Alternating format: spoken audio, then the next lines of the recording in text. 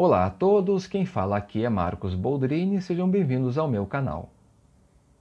Na excelente obra Não com um estrondo, mas com um gemido, A Política e a Cultura do Declínio, publicado pela E Realizações em 2008, o psiquiatra Theodor Dalrymple traz a análise de uma série de situações que representam muito bem o declínio civilizacional de nossa época, tendo como ponto de partida seu país natal, a Inglaterra. No último capítulo da primeira parte do livro O Casamento da Razão e do Pesadelo, Dalrymple expõe a perspicaz literatura de seu conterrâneo, James Graham Ballard. As obras de Ballard são a vitrine dos dilemas existenciais da sociedade moderna, abundante nos meios materiais, mas vazia e tediosa em seu sentido de viver. O tema comum que perpassa todos os seus livros é o efeito sobre a vida do homem quando este fica privado dos sustentáculos da civilização. A sociedade moderna, satisfeita com suas realizações, mas frustrada com sua incapacidade de recriar as condições que permitiram uma enorme prosperidade, e profundamente tediosa por não ter um novo rumo pelo qual seguir, desemboca na busca por novas emoções, como o uso das drogas e do álcool, a libertinagem, a violência, o crime e o ativismo político e social, muitas vezes agressivo. Dalrymple pôde ver pessoalmente a relação entre bem-estar e comportamento violento em sua vivência profissional.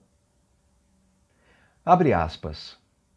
Quando trabalhei por breve período como uma espécie de correspondente de vulgaridades para um jornal britânico, eu era enviado a todos os lugares em que os britânicos se reuniam para se comportar mal. Descobri, para minha surpresa, que em grupo as pessoas de classe média se comportavam com a mesma desibinição ameaçadora dos que lhes eram supostamente inferiores em posição social e educação. Eles xingavam, ofendiam, faziam gestos fascistas e urinavam nas ruas com o mesmo abandono que atribuíam aos proletários. Foi Ballard o primeiro a identificar que a burguesia desejava proletarizar a si própria sem perder os privilégios econômicos e o poder político. Fecha aspas. Mais adiante, ele continua seu raciocínio ao tratar de uma das obras de Ballard. Abre aspas. Essa me parece ser uma sugestiva metáfora de muito do que vem ocorrendo nas últimas quatro décadas, não somente na Inglaterra, mas também em outras partes da sociedade ocidental.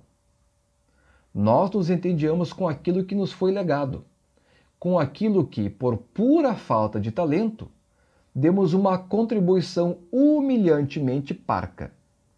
Ballard compreende satirizando em Terroristas do Milênio o porquê de as pessoas educadas, assombradas pela falta de sentido de sua vida, sentirem a necessidade de protestar. Fecha aspas.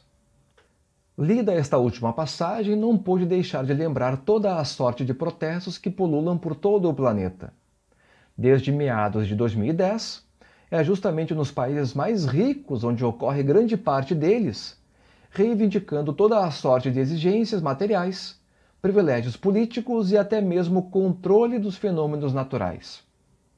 Pensemos, por exemplo, na atual convulsão no Chile, nos protestos antirracistas nos Estados Unidos e na exigência dos manifestantes para que o governo do Reino Unido decrete emergência climática.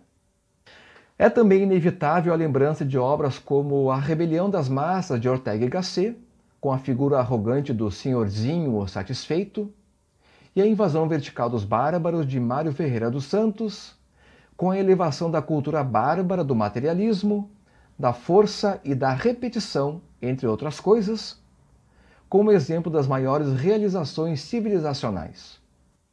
Ambas as obras confluem para formar o protótipo do cidadão moderno idealizado nas democracias ocidentais. A observação de Dalrymple, vivida em loco, mostra que o enriquecimento em massa de uma sociedade pode perfeitamente desembocar no mais vil barbarismo, se, obviamente, este processo não vier acompanhado com os sustentáculos civilizacionais que permitiram seu surgimento. Vivemos numa época em que nunca houve tantos recursos, riquezas e meios de expressão, e justamente nesse período, nunca vimos tantos movimentos de massa tomarem as ruas do mundo todo ao mesmo tempo, com as mais variadas e mesmo descabidas exigências como se a ação de grupos de pressão pudesse transformar magicamente a estrutura social e, por que não, o meio ambiente. É verdade que ainda há muito a ser feito para o bem-estar geral, mas ao invés de honrarmos o que legamos pelo enorme esforço dos antepassados, estamos botando abaixo os fundamentos que permitiram a riqueza e o bem-estar disponível. A massa de mimados, quanto mais mimada, mais exige e mais está disposta a destruir tudo por aquilo que deseja ou acha que deseja. Pois, ao desejarem mais prosperidade e segurança material, esperam resolver o drama existencial típico da sociedade moderna. O vazio e o tédio que esta mesma prosperidade e segurança jamais poderão sanar.